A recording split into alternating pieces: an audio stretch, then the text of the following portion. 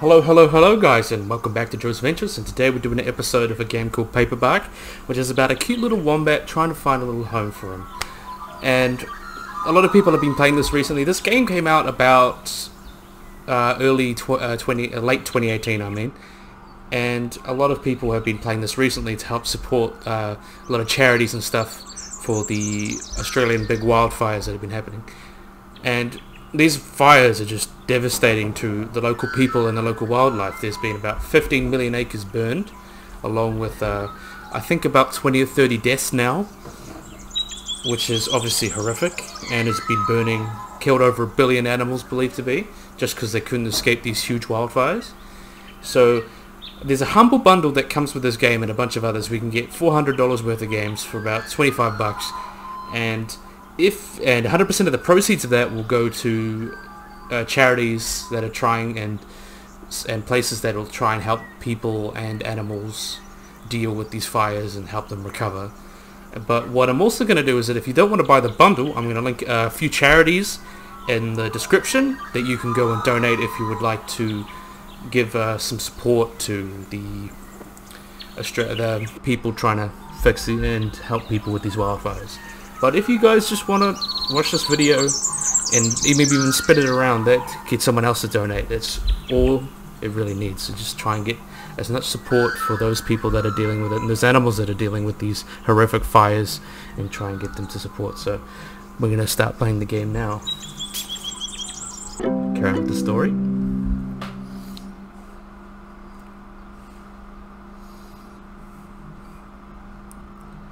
We acknowledge the traditional owners of the land of which we are meeting. We pay our respects to the elders past and present. I assume that's something for the Aboriginals. Ooh, let's paint this. Ooh. From deep in the soil to the tops of the trees, the Australian bush teems with plant and animal life. Yeah, it does. Look at all that beautiful wildlife and plants. More painting to do. Winter rain and warm spring days encourage growth throughout the bush.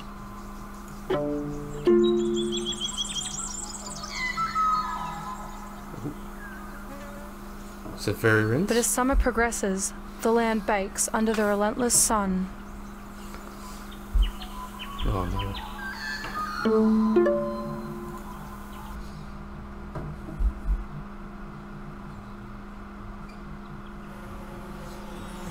Chapter 1.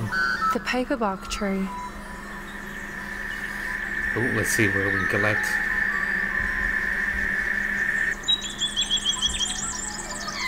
Isn't that cute? There is a wombat who lives under a paperbark tree.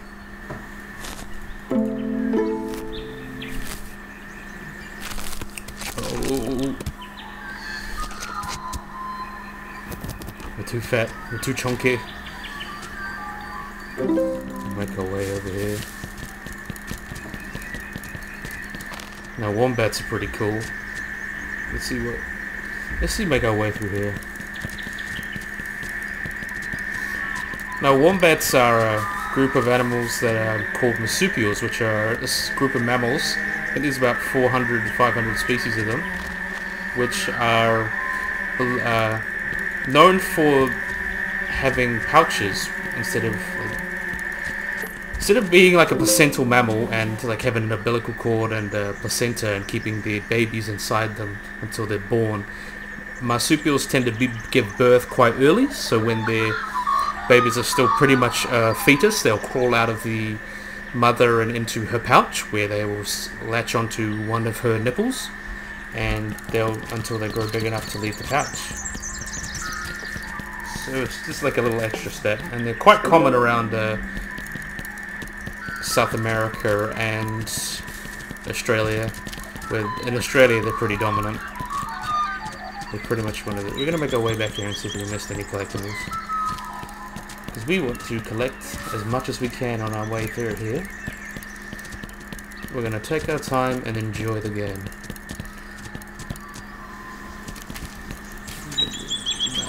Nothing around here.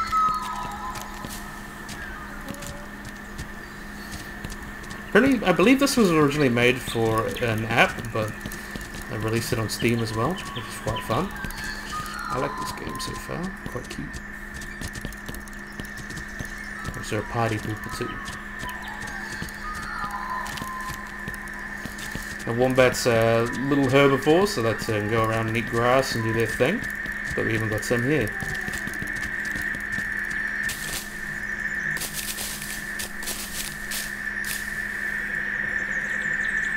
Isn't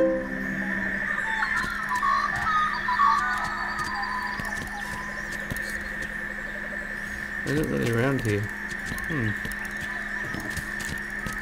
Probably watch this back and be like, oh, you missed that cicada, you dummy. Let's make our way around here. As we paint the landscape. There's a cicada.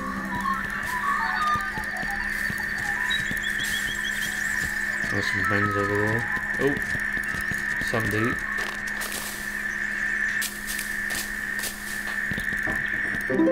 Are quite cute little birds. There's a few different species of them. It's quite hard to tell just from the model here. It could be whatever species. Fallen logs are no match for this hungry wombat.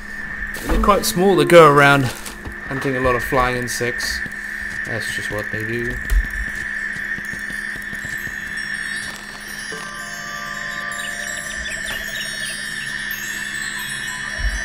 See if we can put that in.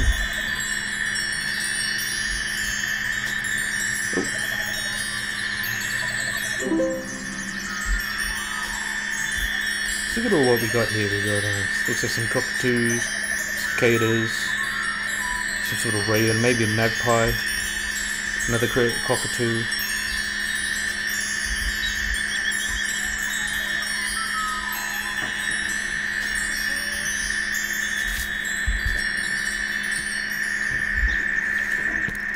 Cute little. There might be a s- They get quite small too, they're like 10 grams. Quite small little birds. Found all across the west coast of Australia. No, not west, east. Never eat soggy wick, but that's a good way to remember your north, south, east, west. see what else we can find going through here.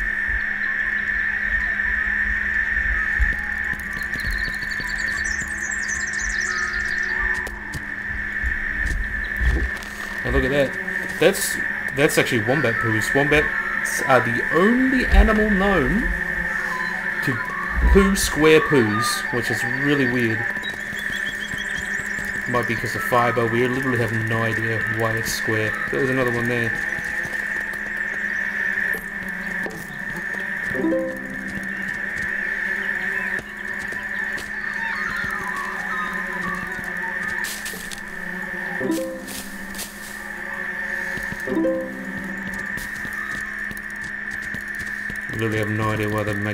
Poops. Might be because of fiber. It could be a lot of things. I'm gonna hack through here. Pop out here. They don't like us. Oops. Gotta stick it. Boom. Yeah, but we're making epic progress. See if we make our way over here. Oop. Can't really go that way by looks of it.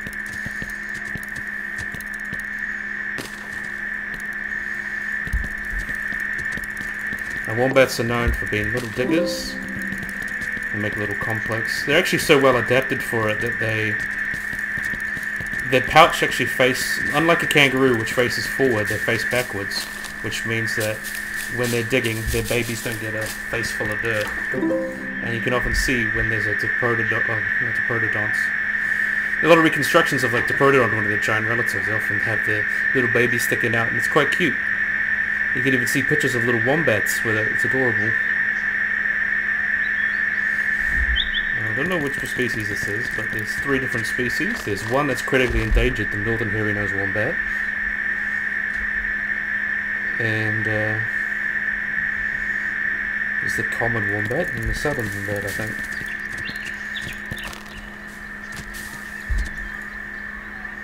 The The wombat wrens. does not notice the little fairy wrens, but the fairy wrens definitely noticed the wombat. Look at those little nests, isn't it quite cute?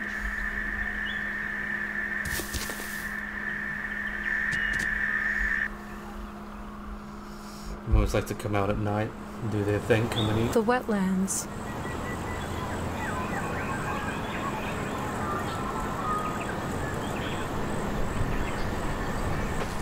The wombat will eat when it's hungry, regardless of who is in the way.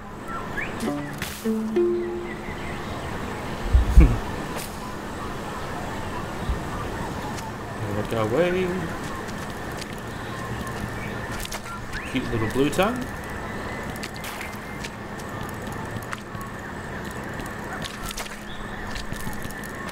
I'm sure we got the sticker for the. Oh no, we don't want to go to the menu. We want to carry on. I wanted to see what we've got. Continue. We'll carry on doing our thing.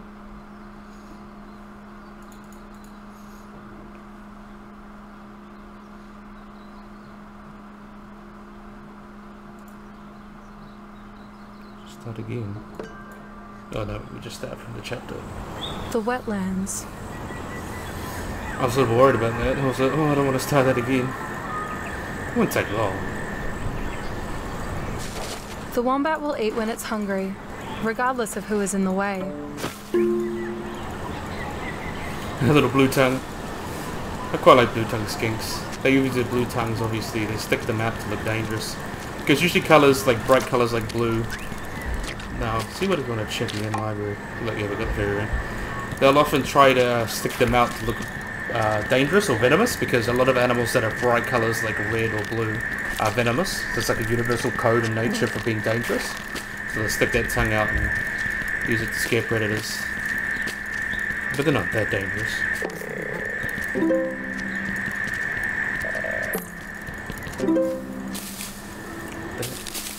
They're from the genus Tiliqua, which is like the largest uh, genus of skinks. Not largest in terms of numbers, but in size. They are closely related to things like shinglebacks and coming skinks. And skinks are a really interesting group of uh, reptiles just because there's so many of them. There's like 1,500 different species of skink from all around the world. From Australia to Americas. Pretty much everywhere you can find skinks. This, and part of the reason there's so many species is just because of the uh, a lot of them are isolated on islands. Like New Zealand has like uh, quite a few different species of skinks just because there's not many other types of lizard other than geckos. They're just so easy uh, for them to move across islands. Which way are we going? We've already been this way. we get lost! Oh no! One bet, more like gone bet. We can't go that way. Let's carry on this way then.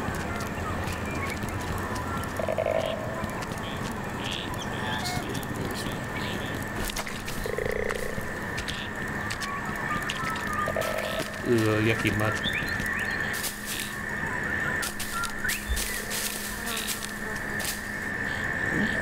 We hungry? Haven't been feed? Ooh, gotta jump over there. There's another skink. We gotta break through. Oh, we're tough and dangerous. You don't wanna mess with us.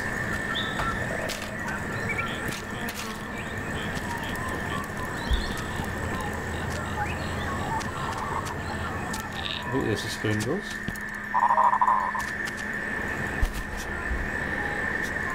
The spoonbills are not startled by the wandering wombat.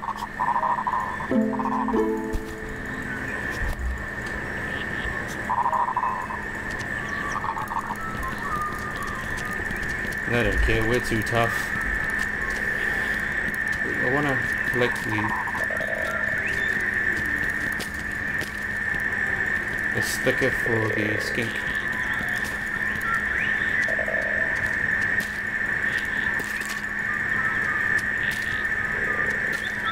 There's a cicada.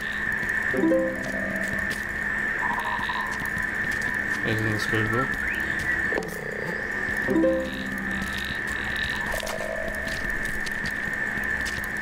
Ew. Going through the wetlands, doing our thing. There's another cicada.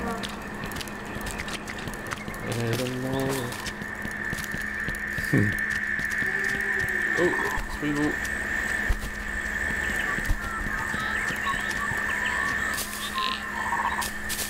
Hungry, hungry, hungry.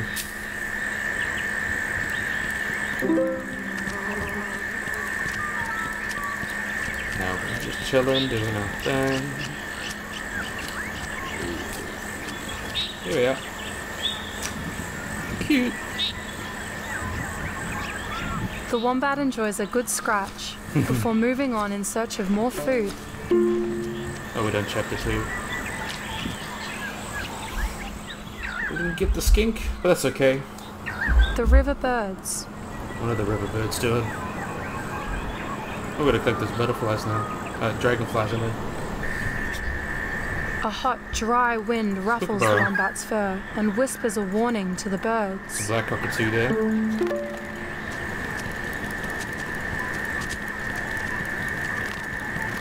A lot of different species of uh, black cockatoo. One of my favorite is the largest of the group, which are black uh, palm cockatoos. They're the biggest cockatoos in the in the world. They get to pretty big sizes. I think they're about uh, 1.3 meters, which is pretty big. Almost like as big as some macaws and such. Looks like a magpie. Some sort of corvid. Yeah, they can get pretty big.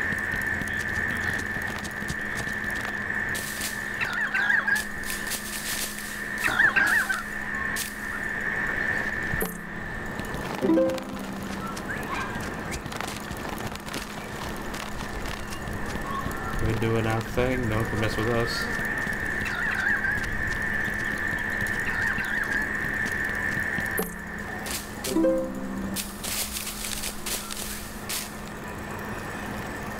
Quite cute.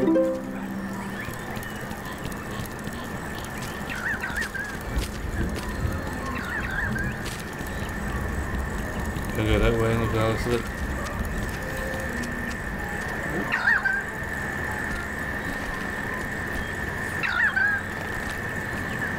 Crawling across the river like a true wombat.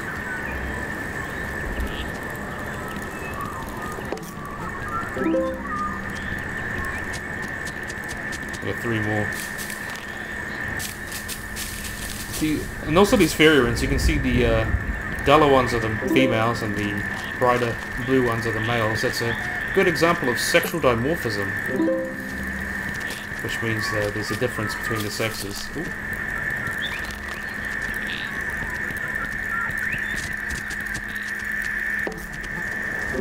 There's another palm cockatoo. Smoke and ash tickle the wombat's nose. Uh oh. We get into a bushfire.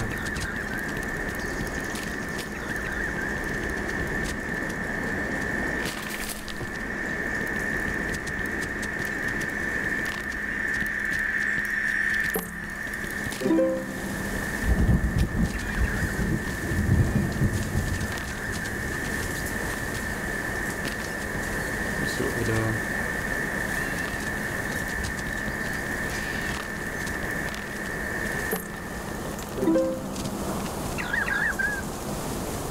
Uh-oh. The wombat watches the birds fly away. It too needs to find somewhere safe from the flames. Check the feet.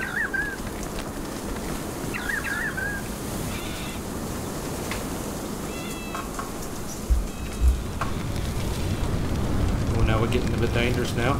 Oh, four. The bushfire.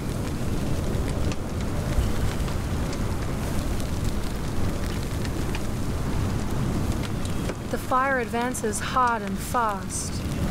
The wombat must find shelter.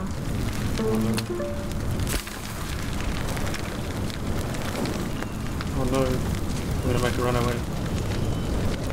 One thing about uh, bushfires is that bushfires are a natural part of the ecosystems in that, uh, like the Australia bush, because a lot of the, once the fire goes through, because a lot of the ashy soil and ash that's left over is very nutrient rich, which really helps a lot of plants uh, easily grow back, like even like eucalyptus trees and not just eucalyptus trees, but also uh, pine trees are specifically built to like germinate after fires.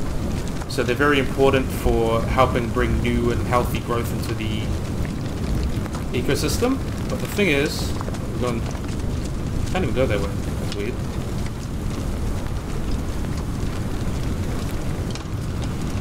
Thing is that these fires burning up 15 million acres and killing a billion animals is just at a scale that's no, that nature's not ready for. It's just not ready for it.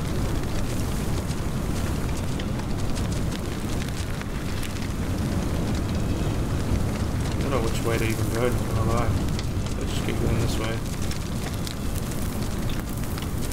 Like these, this is all be because of climate change, because we're releasing too much carbon into the atmosphere, which is messing with the temperatures and the weathers.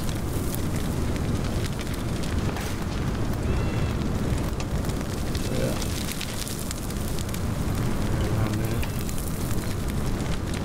Which sucks. It really does. It sucks. It's terrible. It's because we're doing it for agriculture, not just agriculture, uh, power, fossil fuels, all that burning releases carbon to the atmosphere, which gets trapped in the atmosphere. Which also means the, the seasons will become a lot more erratic and because of these huge fires. Like this last decade is believed to be the hottest decade on record, like hotter than any other year uh, any other decade that's been recorded since we started recording things back in 1800s. Which sucks. The wombat cannot see or smell its way through the thick smoke. And with these extreme weather is going to cause more fires like this, more extreme monsoons, and just generally just a lot of a harder uh, time. It'll be more expensive for all of us. We have to pay and for the da uh, damages and have to build back from these extreme, more extreme disasters now that the seasons are becoming more erratic. And these big fires, look, it's already taken the lives of 30, 40, uh, I'm not sure the exact number, but I believe over 20, over 20 people definitely. And the thing is that As the governments... Hope, the wombat digs. The earth will protect it from the flames the governments of the world aren't really doing enough to try and protect us from these climate change uh, effects. The real thing we need to do is try and cut down as much as you can on your carbon emissions. That's the only real way that's gonna help make an impact and save us from these more extre this extreme weather.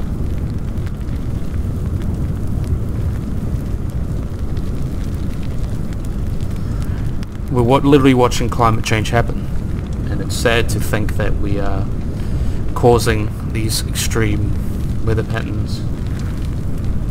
Which sucks. It really does. All the fuel, fossil fuels, all the, all our cars. Basically, our society is founded upon fossil cool fuels, change. which is hard. Ooh, cool change.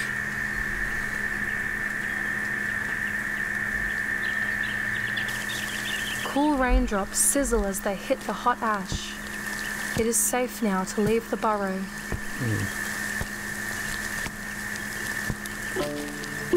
At least with these uh, these animals, and especially in the Australia bush, are sort of adapted to deal with wildfires since that's a natural part. It's just fires of this magnitude will be very hard to recover from.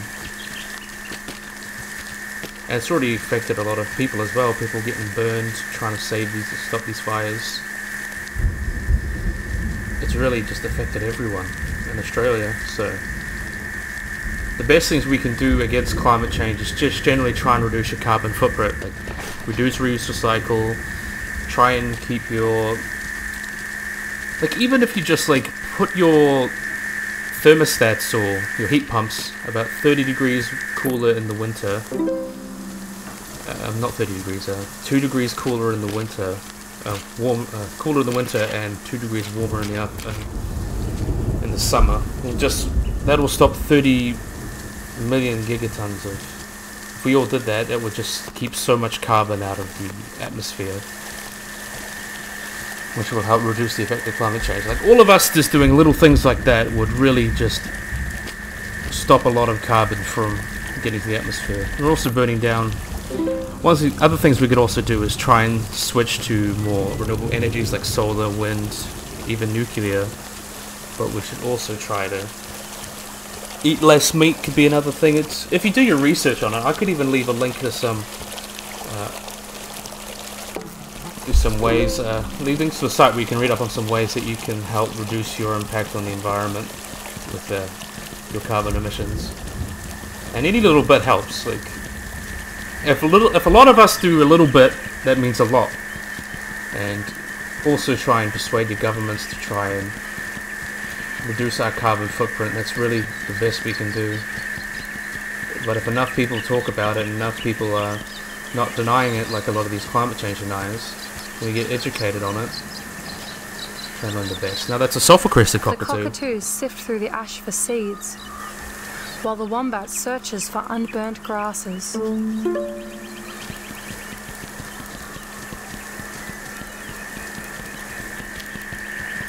Soft because the cockatoos are pretty cool.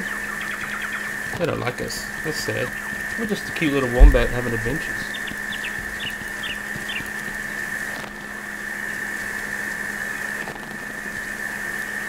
Oh, we're back into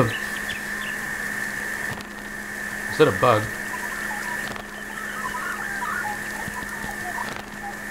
Oh, I think we might be bugging out a little bit now. But yeah, we can fix that now.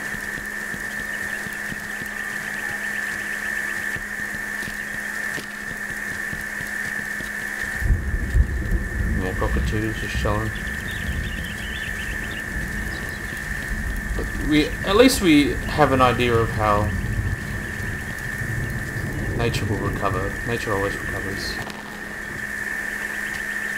And all of these animals are adapted to deal with some degree of wildfires. But it's just reaching a point where we've seen nothing like this pretty much in the past century or so. Just a lot of a lot of land, 15 million hectares is being burned, so it's very hard for nature to recover from that much land being lost.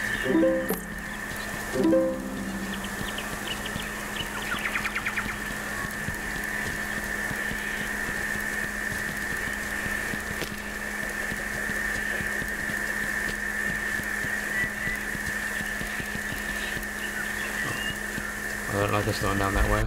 Oh, must have clicked out. There we are. Hate it when I do that. Doesn't cicada. it. Another moth too. Got two more to collect.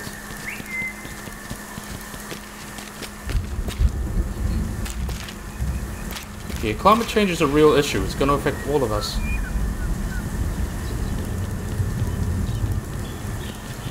and we can already see the effects happening now with a record a record uh, high decade.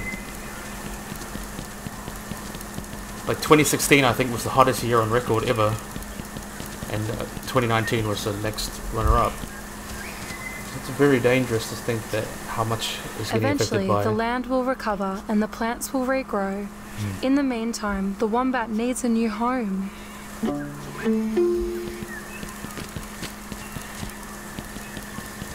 We make our way. And now we're getting into the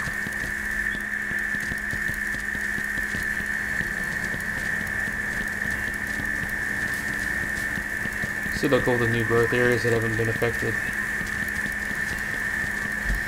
But yeah, if you feel like you, if you have the money or if you just want to help the wombats and the koalas and all the other Australian wildlife and the people that have been affected by this disaster to try and make it to donate if you can or at least give out your wishes and such. Spread awareness at least. Getting the word out's the most important I would say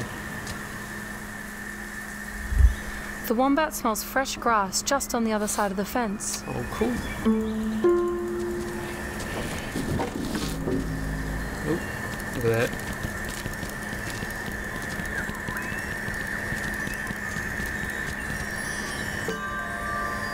Oh, we got another sticker. Yeah.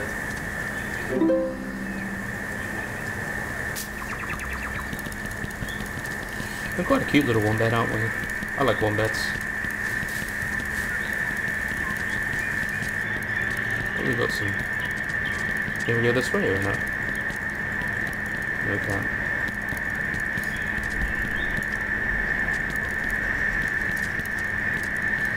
Making our way downtown, walking fast. I'm out of my home now. we don't get copyrighted for that. Ooh, gotta climb up this log. See some tracks. Looks like someone's made a big vehicle.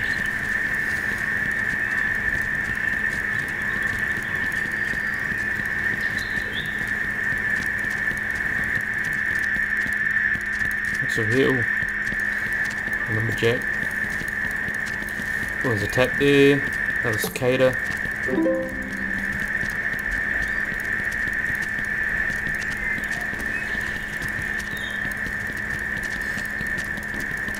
This is one of those games that you can play for a little bit, but if you want to go collect some stuff, you could really spend a good amount of time just going around looking for stuff. It's quite fun. Nice and relaxing too, really just need a point and click. Don't really need to go too adventurous with this. Oh look, now we're coming around to a... Going into someone's fence. Oh, there's a kookaburra! One of the largest kingfishers, The it wombat is tired from the long journey.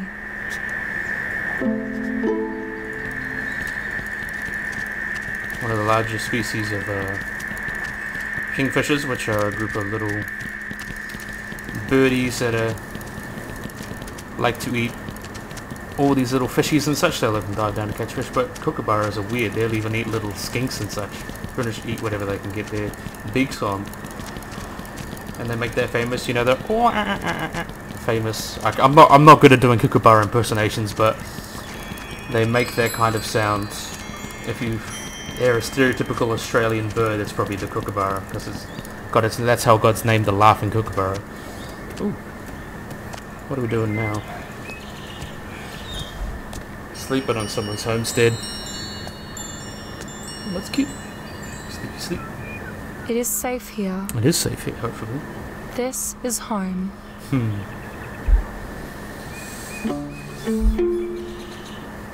I don't think this game should encourage letting wombats living near people just because they could spread diseases and such. But they're not too dangerous, hope uh, at least. Very cute little animals. Will see this make with love. It's a paper house by Melbourne, Australia. All these different people. I'll have a look quickly through them. Should thank every one of them for making this game and, look at all these different frog. Commercial art, QA testers, all the stuff that they need to make a game. People that were inspired by looks of it. Pretty awesome. Films Victoria, Legal Geeks, in Unity. That's pretty awesome.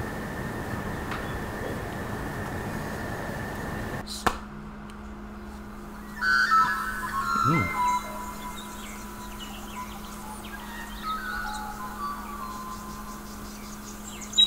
Okay, back to the menu.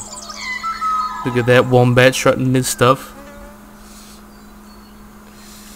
Okay, so now that we're done with that, I really hope you guys either buy the bundle or donate to one of the charities I'll link in the description. And hopefully you guys like and subscribe, and bye-bye.